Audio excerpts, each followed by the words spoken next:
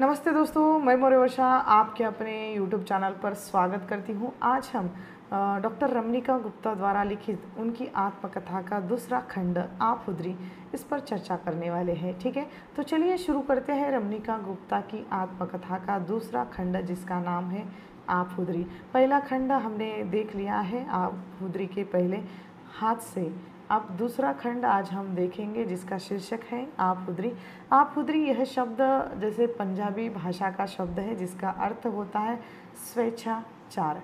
स्वेच्छाचार होता है, अर्थात मुक्त रूप से जो आचरण करने वाली या मुक्त रूप से जीने वाली, जिसको आफुदरी कहा जाता है, जो किसी के बंधन में पड़ना नहीं चाहती या बंधन में न पड़ने की जो स्थिति है, उसको आफुदरी कहा जाता है। रमनिका गुप्ता ने स्वयं अपनी आत्मकथा का जो पहला खंड हाथ से में इस शब्द का अर्थ दिया हुआ है आफुदरी का जो पंजाबी भाषा का शब्द है, और जो किसी के बहकाव में या किसी के बंधनों में न रहने की जो स्थिति है, उसको आफुदरी कहा जाता है। अर्थात स्पष्ट है कि जो स्वयं के निर्णय स्वयं लेती है, अपने आप को पहचानने की हिम्मत रखती है वह आफुदरी है। लेखिका ने रमनिका फाउंडेशन के एक ब्लॉग पर इस शब्द का अर्थ आफुदरी दिया हुआ है। चाहे तो आप उसको पढ़ सकते हैं। शब्द का अर्थ विस्तार से दिया है। वह अर्थ इस तरह है कि लेखिका कहती है कि मैंने अपनी घोषित निजी आत्मकथा का नाम स्वेच्छाचारी शब्द का पर्यायी, पंजाबी पर्यायी शब्द आप उधरी रखी। मेरे नज़र में केवल स्वतंत्र होना काफ़ी नहीं है। मुक्ति की मुहिम के लिए स्वतंत्र होना काफ़ी नहीं है। उसके आगे चलकर हमें अपने लक्ष्य को निर्दिष्ट करना पड़ता है। आंदोलन का लक्ष्य केवल औरतों का वर्चस्व स्थापित करना नहीं है, उसे मुक्त करना नहीं है। वह अपनी इच्छानुसार अपने निर्णय स्वयं ले सके, अपने इच्छानुसार मुक्त आचरण कर सके और उसका साहस जुटा सके। उसमें वह निर्णय लेने की क्षमता ही नहीं, बल्कि अपने लिए गए निर्णय पर जो आने वाले समय में परिणाम है, उस परिणाम को भोगने की हिम्मत भी उसमें आनी चाहिए। यह भी वह कहती है। मतलब एक तरह से हौसला, हिम्मत भी उसमें होना चाहिए। एक स्वेच्छाचारी और ऐसी सक्षम औरत हो सकती है, क्योंकि इनकार करने की जोखिम जो उठा सकती है और जो स्वीकार करने का साहस रख सकती है, स्वीकार करना या नहीं करना उसने स्वयं पर छोड़ देना चाहिए। लेखिका ने स्वेच्छाचारी स्त्री के बारे में कुछ तथ्य भी उस ब्लॉग पर लिखे हुए हैं, जो तथ्य इस तरह है कि स्वेच्छाचारी और मुक्त स्त्री कभी कायर नहीं होती। गुलामी वह सहन नहीं करती। जीवन के जो खूबसूरत पल है, उसको वह अनुभव करती है, उससे रूबरू होती है, स्वयं की पहचान उसकी होती है, वह है आफुदरी अब स्वेच्छाचारी मतलब आफुदरी इस शब्द का अगर सीधा साधा अर्थ देखा जाए तो वह अपनी इच्छा से जो आचरण करे, वह वह आफुदरी है। यह शब्द स्त्रीलिंगी है, क्योंकि स्त्रीलिंगी होने के कारण खासकर यह जो शब्द है, स्त्रियों के लिए उपयोग में आता है, और इसका अर्थ व्यभिचारी आवारा, बदमाश स्त्रियों के लिए होता है। अब हम ये लेंगे कि ज़्यादातर ये प्रयोग स्त्रियों के लिए हुआ है, इसलिए लेखिका ने यह आत्मकथा का शीर्षक दिया हुआ है। अब ये शब्द वर्तमान में जैसे रूढ़ हो गया है। स्वेच्छाचारी का अर्थ उन्हीं स्त्रियों के लिए प्रयोग में होता है जो बंधन तोड़ती है रीति रिवाज तोड़ती है। किसी के गुलामी में वह जीना पसंद नहीं करती।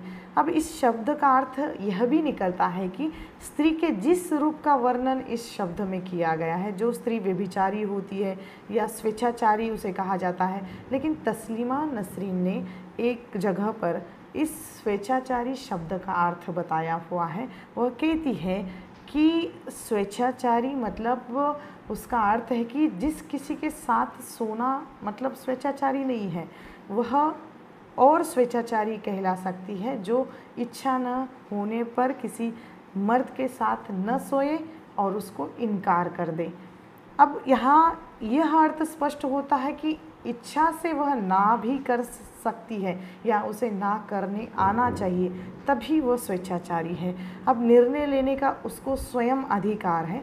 तरह तरह के जैसे अपने स्त्रीत्व पर जो बंधन है उस बंधनों को तोड़ने की हिम्मत भी उसके पास होनी चाहिए और निर्णय लेने की क्षमता भी होनी चाहिए। वह अपने मर्ज़ी से जीने की आदि होनी चाहिए। अपने मर्ज़ी से संबंध स्थापित कर सकती है। अपने इच्छानुसार कार्य राजनीति में प्रवेश करती है। यह एक रमनिका गुप्ता की आप उदरी की कथा है। अर्थात एक स्त्री का स्वतंत्र जीवन किस तरह होता है, वह जीवन हम इस आत्मकथा में पढ़ते हैं। अब यह जो आत्मकथा का जो शीर्षक है, आत्मकथा पढ़ने के बाद हमें बहुत सटीक लगता है, क्योंकि लेखिका ने वह जीवन जिया है, उन्होंने स्वयं भोगा हुआ है। आप खुद रही रमनिका गुप्ता की आत्मकथा का दूसरा खंड है। हम जानते हैं इस खंड का प्रकाशन 2014 में पहली बार चार किस्तों में हुआ था, पुस्तक रूप में नहीं। पहली किस्त 15 जुलाई 2014 में स्त्री काल, स्त्री का समय और सच के ब्लॉग पर हुआ था। वहाँ पर रमनिका गुप्ता ने अपनी शीघ्र प्रकाशित होने वाली आत्मकथा, जो आप उदरी के अंश किश्तों में प्रकाशित किए थे, रमनिका जी ने अपनी इस महत्वपूर्ण घटनाओं को, जो अनुभवों को वहाँ पर साझा किया था और लेखिका की ये जो घटना है, ट्रेड यूनियन की सक्रियता से लेकर जो विधान परिषद या बिहार विधान परिषद की सदस्य होने तक की उसकी जो भूमिका है और जैसे गैंग्स ऑफ़ वासेपुर या कोयला नगरी की राजनीति, इसके संबंध में जो घटनाएँ हैं, उन्होंने उस जगह पर प्रकाशित किए थे। और आने वाले नए पीढ़ियों को राष्ट्रीय राजनीति या धनबाद से लेकर राज्य और राष्ट्रीय राजनीति के गैंगस्टर मिजाज का वर्णन भी उन्होंने वहाँ पर लिखा हुआ था। अब जो स्त्री जिन पगडंडियों पर चलने के लिए आदि बन जाती है, चलने के लिए वह स्वयं उस उन संघर्षों से गुजरती है, अपमान सह लेती है, पुरुष वासनाओं को वो झेल लेती है और आंधी तूफ़ान या गालियाँ, अपमान, संघर्ष, ये सब हमें इस आत्मकथा में पढ़ने को मिलता है। अब ये एक स्त्री का साहस हमें बार बार पढ़ने के लिए जैसे प्रेरित करता है, हम इस आत्मकथाओं को पढ़ते रहते हैं। अब यहाँ पर 60 और 70 के दशक में राजनीति के गलियारियों में आज भी शायद बहुत बदले नहीं हैं। इस आत्मकथा पे जो हम उनकी कमज़ोरियों को अपनी ताकत बनाने, लेने की जो लेखिका की कहानी है, वो पढ़ते हैं। यह जीवन कथा एक स्त्री की उत्पीड़ित कथा ही नहीं, हर घटनाओं का, हर सामाजिक स्थितियों का वर्णन भी इसमें है। यहाँ हर घटना अनिवार्यता नहीं है, लेकिन इस आत्मकथा में कुछ प्रसंग जो है आउटलुक के लिए रमनिका गुप्ता जी ने साक्षात्कार में पहले से बता दिए थे। अब इस बारे में आत्मकथा पुस्तक रूप में प्रकाशित बाद में हुई, होने से पहले काफ़ी चर्चा हुई थी इस आत्मकथा के बारे में। बाद में 2016 में इसका प्रकाशन हुआ। और पुस्तक रूप में ये प्रकाशित हो गई।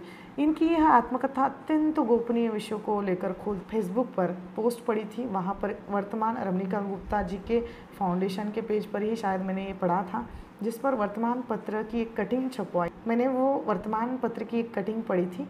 चाहे तो आप स्क्रीन पर देख सकते हैं। वो कटिंग ये थी कि इस आत्मकथा की चर्चा काफ़ी हो रही थी और हमारा समाज इस स्त्री से घृणा की नज़र से देखता है और इनकी आत्मकथा अत्यंत गोपनीय विषयों को तोड़ती है, जो आदमी या मनुष्य बोलने के लिए पहले ही हिचकिचाता है और जैसे स्त्री का शरीर उसकी पहचान होती है, हम सब जानते हैं और उसी शरीर के साथ जुड़ी हुई उसकी इज़्ज़त है और ऐसा हमारे भारतीय संस्कृति में कहा जाता है, किंतु वही शरीर कितनी ही बार अगर कई लोगों के साथ संबंध, यानी शारीरिक संबंध बना चुका है तो हमारा समाज उसको अलग नज़र से देखेगा, उसे घृणा का पात्र ठहराएगा और तरह तरह के लांछन उसे लगाएगा। जैसे कुल्टा, कलंकनी आदि कई शब्द इस आत्मकथा में आए हुए आदि कई शब्दों से उसको पुरस्कृत किया गया है। वैसे लेखिका की यह आत्मकथा खुलकर स्त्री की गोपनीय बातों को खोलती है और हमारे सामने या समाज के सामने लाने का प्रयास करती है। वैसे लेखिका की आत्मकथा अत्यंत साहस और निर्भीक रूप में प्रस्तुत की गई है। इस आत्मकथा को उपशीर्षक एक जिद्दी लड़की की आत्मकथा ये दिया हुआ है। हम जब आत्मकथा पढ़ते हैं तो इसमें सच में हमें लगता है कि यह बहुत जिद्दी है। और यह एक ऐसी लड़की की कहानी है जो बचपन से अपनी मर्ज़ी से जीना चाहती है, अपने मर्ज़ी से खेलना चाहती है। यह एक ऐसी लड़की की कहानी है जो अपने पर किसी का दबाव, किसी का वर्चस्व पसंद नहीं करती। वह मुक्त गगन में स्वयं उड़ना चाहती है, स्वतंत्र रूप से जीना चाहती है। वह जो अपने मर्ज़ी से अपने निर्णय स्वयं लेना चाहती है और मर्ज़ी से वह जीने की अधिकारी है, उसे रोक टोक बिल्कुल पसंद नहीं है। लड़का लड़की में भेद करना भी उसे पसंद नहीं है। वह स्वयं इस तरह का भेद भी नहीं करती। वह अपने मर्ज़ी से कार्य करती है। मानो उसका जन्म ही स्वतंत्र अस्तित्व, स्वतंत्र पहचान, स्वतंत्र कार्य करने के लिए बना हुआ है। ऐसा ही लेखिका का आचरण हम इस आत्मकथा में पढ़ते हैं। उनका जो आचरण है, उनका जो जीवन है, उनका जो व्यवहार है, बचपन से ऐसे रहे हैं। और पाठक वर्ग जब इस आत्मकथा को पढ़ने लग जाता है, तब उसके दिमाग में कई हज़ारों प्रश्न उपस्थित होते हैं।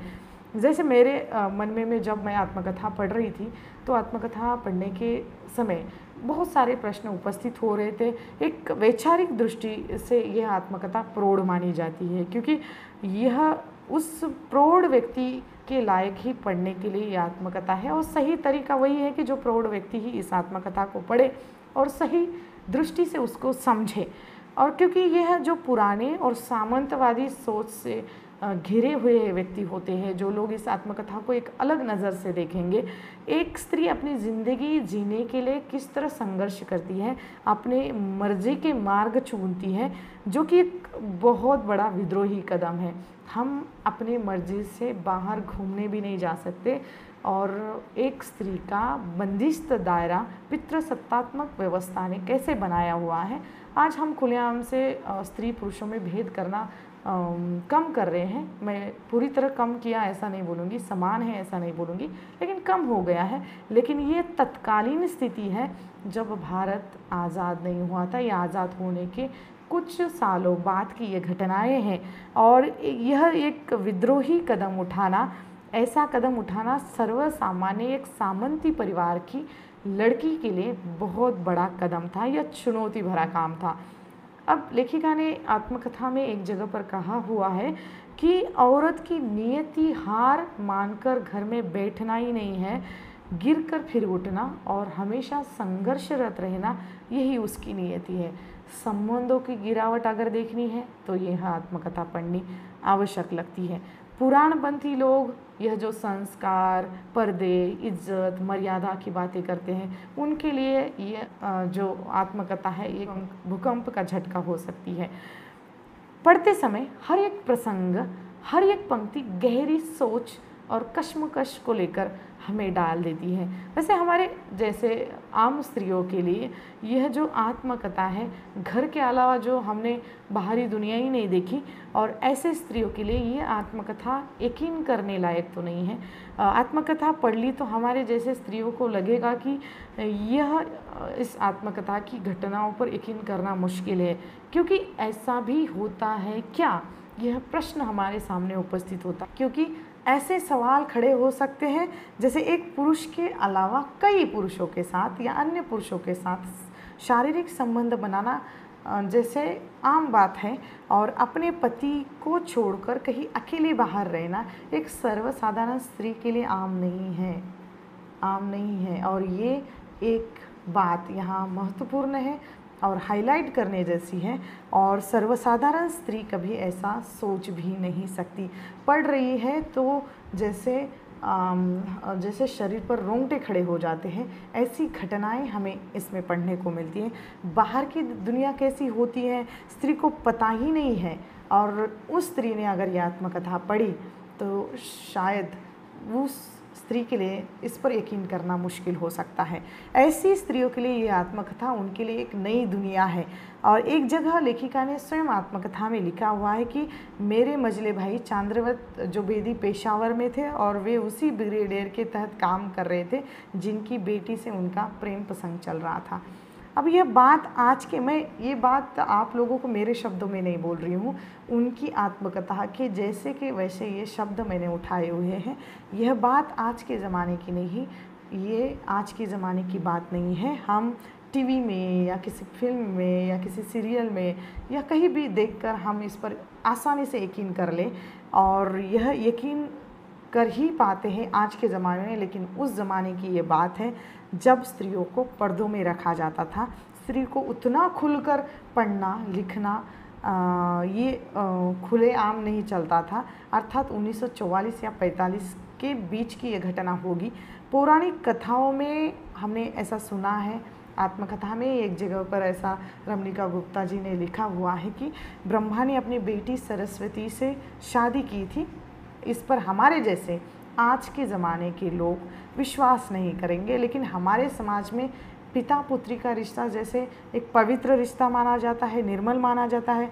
रमनिका गुप्ता जिस वातावरण में पली बड़ी है, उस वातावरण का परिणाम या उस परिवेश का परिणाम उसके इस चरित्र पर हुआ होगा और गहरा प्रभाव पड़ा हुआ होगा। ऐसा हम इस आत्मकथा से समझ सकते हैं। आत्मकथा में जो बातें निर्भीक रूप से लिखी है, इस बात को असत्य भी नहीं कहा जा सकता क्योंकि आत्मकथा सत्य पर आधारित होती है।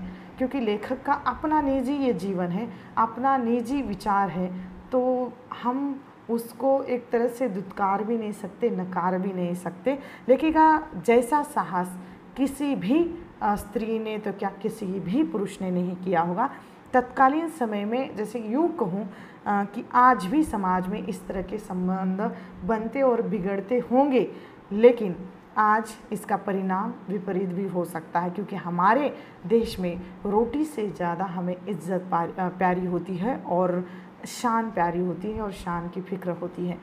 वह इज़्ज़त स्त्री के रूप में आज भी समाज में, देश में विद्यमान है।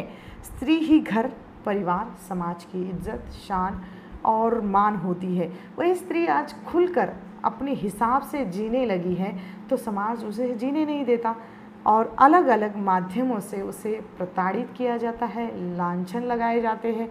वही समाज के सामने आत्मकथा के माध्यम से हमें पढ़ने को मिलता है। ये सगे संबंधी या आसपास के लोग उसे गलत नज़र से देखते हैं, विद्रोह की भावना से देखने का जैसे कारण बनते हैं। लेखिका ने बिना किसी भय, बिना किसी डर के अपने आत्मकथा में अपनी भावनाओं को, अपने विद्रोही भावनाओं को व्यक्त किया है।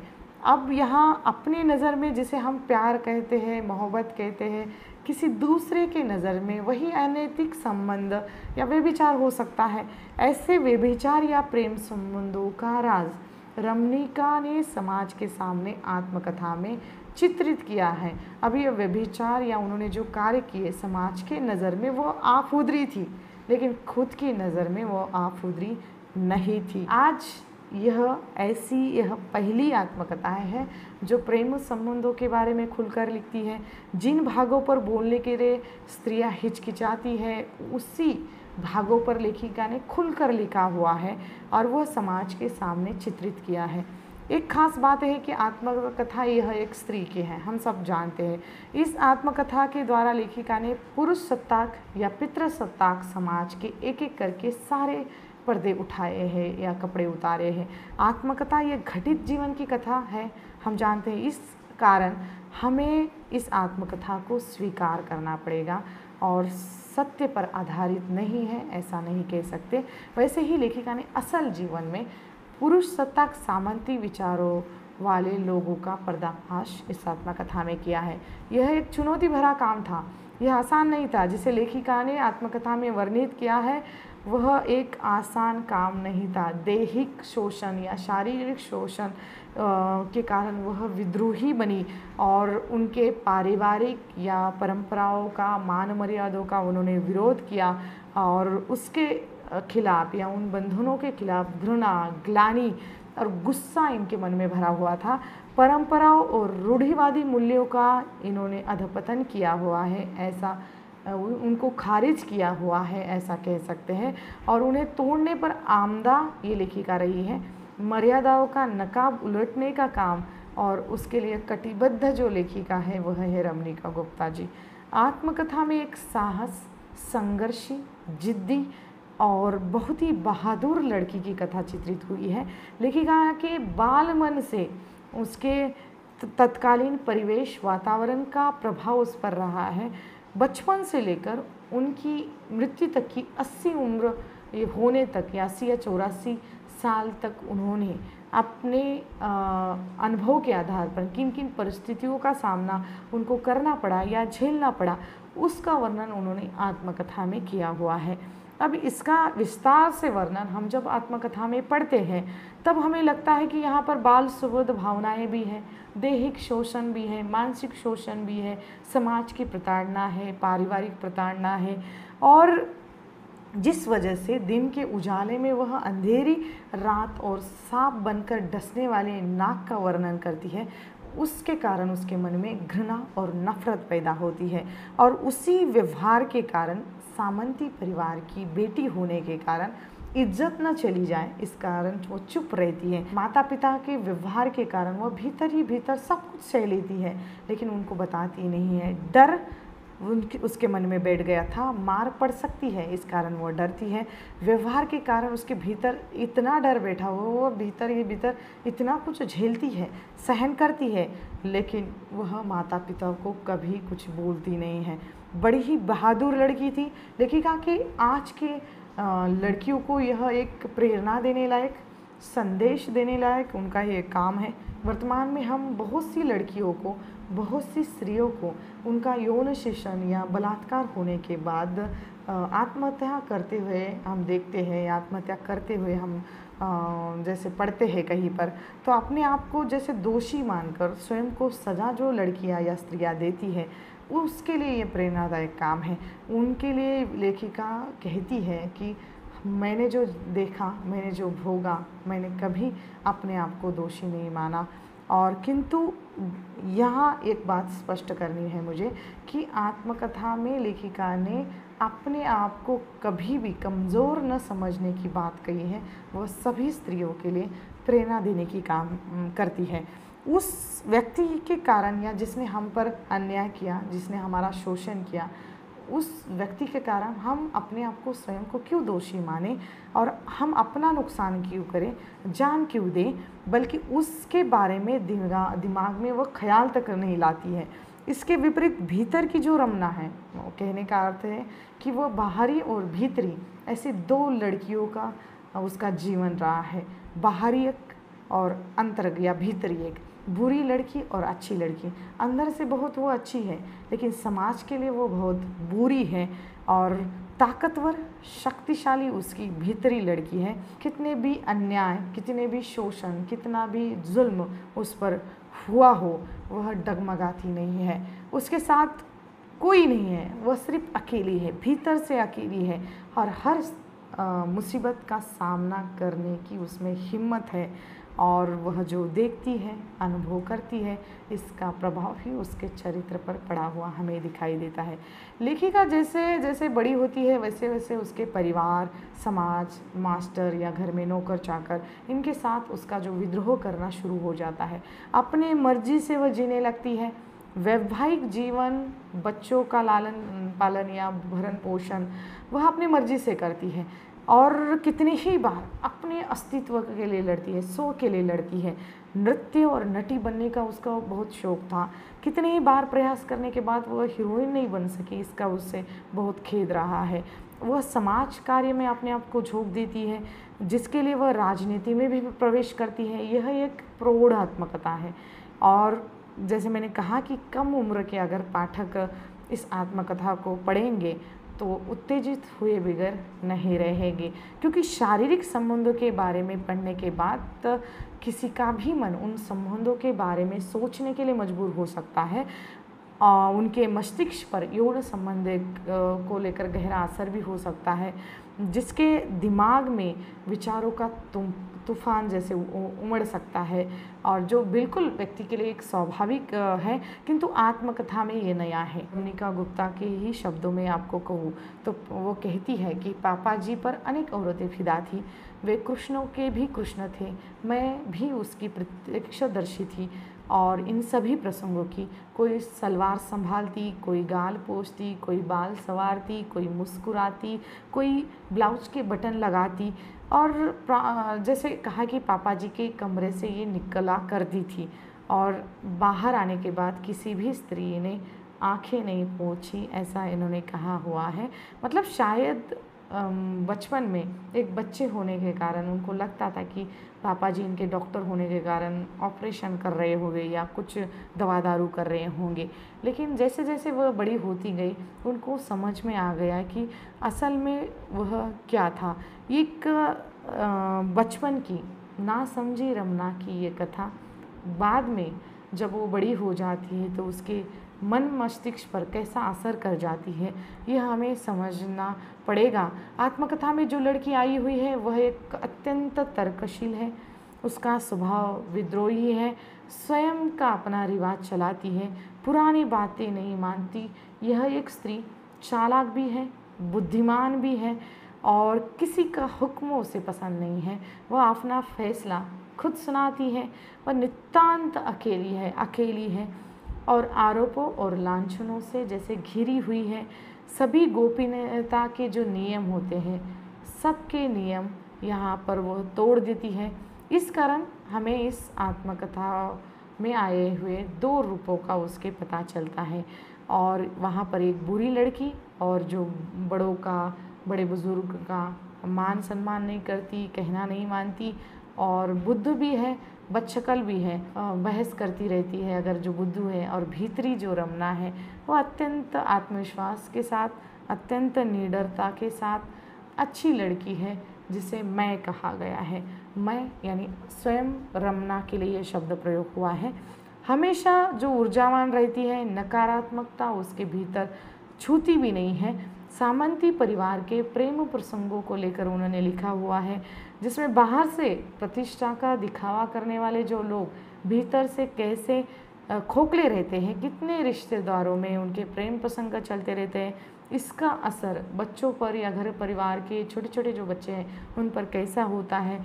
और ये जो असर है रमनिका गुप्ता पर, जो विरासत से उनको मिला हुआ है, परंपरा है, और बचपन में बच्चों पर यौन संबंध के जो संस्कार, उन्होंने अपने विरासत में अपने बड़े बुज़ुर्गों से लिए हुए हैं, ऐसा उन्होंने स्वयं कहा हुआ है। और ये संस्कार जो उनके माता पिता द्वारा या उनके घर सके संबंधियों द्वारा इसके कारण ही आए हुए हैं। और नौकर उनके घर का एक था, जो रामू लेखिका का बचपन में उसने जो यौन शोषण किया था। और बड़े बड़े जो परिवार वाले घर वाले जो लोग होते हैं, अपने नौकरों के भरोसे पर बच्चों को छोड़ देते हैं। और ये छोड़ना कोई आम बात नहीं है, लेकिन इसका फ़ायदा लोग कैसे उठा लेते हैं और बच्चों का यौन शोषण करते हैं, ये हम इस आत्मकथा में पढ़ते हैं। हम इस आत्मकथा के बारे में इतना कहेंगे कि इस आत्मकथा में आज तक के स्त्री विषयक जितनी भी बातें हैं, गोपनीय बातें हैं, वह उन बातों का चकनाचूर कर दिया है। जो घटित हुआ है, लेखिका ने स्वयं भोगा हुआ है, लेखिका ने उसे बिना हिचकिचाहट के लिखा हुआ है और वो हिचकिचाहट लेखिका के पास नहीं थी। वह अत्यंत खुले रूप से सभी हमारे सामने प्रस्तुत करती है। आप उधरी इस आत्मकथा के दूसरे खंड में उन्होंने विस्तार से ये चर्चा की हुई है और साथ ही उन्होंने ये कहा था कि उनके आत्मकथा के और दो भाग आने वाले थे, लेकिन इसके पहले ही उनका निधन हो जाता है, उनकी मृत्यु हो जाती। शायद उन्होंने इसकी पांडुलिपि लिखी होगी। ये उनके सगे संबंधी या उनके संबंधित साहित्यकार मित्र मंडली यही जान सकते हैं। मैं तो सिर्फ़ शायद कह सकती हूँ। रमनिका गुप्ता ने दो आत्मकथा के और भाग आएँगे ऐसा कहा हुआ था, जिसमें उन्होंने कहा था कि तीसरा खंड जो हज़ारीबाग की गतिविधियों के प्रसंग के बाद में प्रकाशित होगा और उसे लिखना भी बाकी था, ऐसा उन्होंने तब कहा था। और चौथे खंड में दिल्ली आने पर जो साहित्यकारों के साथ चर्चा या अनुभव आए थे और परिवार से कटे रहने के बाद जिस तरह उन्होंने संघर्ष किया या जो डी क्लास के मज़दूर हैं, किसान साथी हैं, उनके लिए, उनके घर के लिए या उनके घर जाने के बाद, आने के बाद किस तरह की यांत्रिकता रही है, उसकी गाथा भी वो बताने वाली थी। लेकिन ये अभी अधूरा रह गया है और लेखिका की इस जीवन को पढ़ने के बाद अभी तो लेखिका हमारे साथ जीवित नहीं है, लेकिन फिर भी हम इनकी आत्मकथाओं से, उनको जीवित रूप से प्राप्त कर सकते हैं। लेखिका का जीवन पर आधारित ये दूसरा खंड यहाँ पर समाप्त हो जाता है। अब इस आत्मकथा के दूसरे खंड के कुछ निष्कर्ष बन पड़ते हैं। लेखिका का परंपराओं के खिलाफ विद्रोह करना सामंती परिवार का चित्रण इस आत्मकथा में आया है। स्त्री चरित्रों के माध्यम से तत्कालीन स्त्री जीवन की त्रासदी का वर्णन लेखिका ने किया है, जिसमें उनकी माँ है, मौसी है, मामी शकुंतला है, भाभी है। इसका चित्रण है। यौन शोषण का चित्रण जगह जगह पर हमें आत्मकथा में मिलता है, जिसमें यौन शोषण बचपन में नौकर और मास्टर पूरमचंद के द्वारा इसमें आया हुआ है। उपभोक्तावाद की अवधारणा भी इस आत्मकथा से स्पष्ट होती है। छुआछूत पर्दा प्रथा, इसका भी विरोधी इस आत्मकथा में हुआ है। स्त्री उपेक्षा, दोहरे मापदंड, बाल सुबोध के प्रश्न हमें इस आत्मकथा में पढ़ने को मिलते हैं। स्त्रियों के प्रति दृष्टिकोण जो हीन था, जिसका चित्रण इस आत्मकथा में आया है, ईसाई, बंगाली स्त्रियों के कथा द्वारा हम देख सकते हैं। स्त्री जीवन संघर्ष का चित्रण, जिसमें शारीरिक है, पारिवारिक है, मानसिक है, आत्मिक है, विद्रोही रूप का चित्रण हमें देखने को मिलता है जो आज़ादी के दिनों का संघर्ष भी इसमें है। आत्मकथा में काफ़ी स्त्रियों पर बातें हमें देखने को ये पढ़ने को मिलती हैं। लेखिका ने अपने जीवन को मनोविश्लेषणात्मक दृष्टि से लिखा हुआ है। उक्त जैसे मैंने निष्कर्ष बताए हुए हैं आपको आ, इसके अलावा भी संबंधों की गिरावट है शारीरिक शोषण है सामंतवादी विचारधारा है और कोयला खदाने मजदूरों का अपना संघर्ष है, राजनीति में लेखिका कैसे प्रसंग संघर्ष करती है या प्रवेश लेती है, उसका संघर्ष है, पारिवारिक संघर्ष है, तर्कशील व्यक्तित्व तो उसका रहा है, व्यवस्था के खिलाफ लड़ने वाली स्त्री का चित्रण है।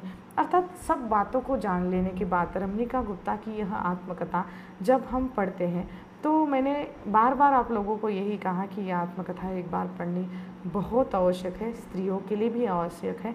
अगर हम एक जैसे होकारात्मक बातें या पॉजिटिव फीलिंग्स जो होती हैं या पॉजिटिव विचार हम इस आत्मकथा से अगर लिए तो एक स्त्री ने आज बोलना शुरू कर दिया है तो इस स्त्री को हमें पढ़ना भी ज़रूरी है। तो यह जो रमनिका गुप्ता की आत्मकथा की दूसरा खंड आप लोगों को कैसा लगा, मुझे कमेंट करके ज़रूर बताइएगा। और जल्द मिलेंगे हम एक नई वीडियो में, एक नए विषय के साथ। तब तक के लिए हम यहाँ पर रुकते हैं। धन्यवाद।